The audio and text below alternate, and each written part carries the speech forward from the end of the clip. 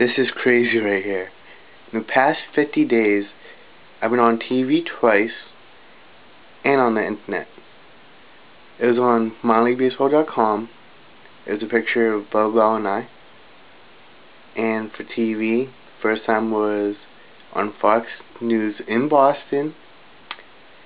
And now NESN in Boston, which is the best city ever.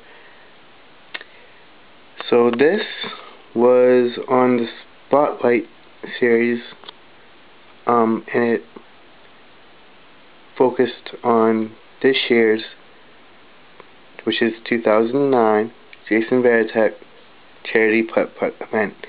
And here's the proof of me, me and Michael. I'll play it for y'all.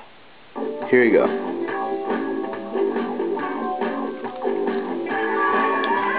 Coming up. After this. Yeah. There's your boy. Um, I just gotta say, this is an honor. Uh, wow.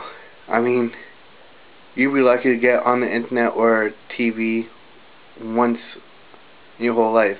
And I got it three times and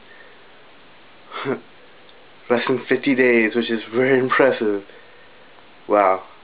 I still can't believe it. but I really enjoyed this. I hope you guys did. And um, I guess I'm more famous now, so peace.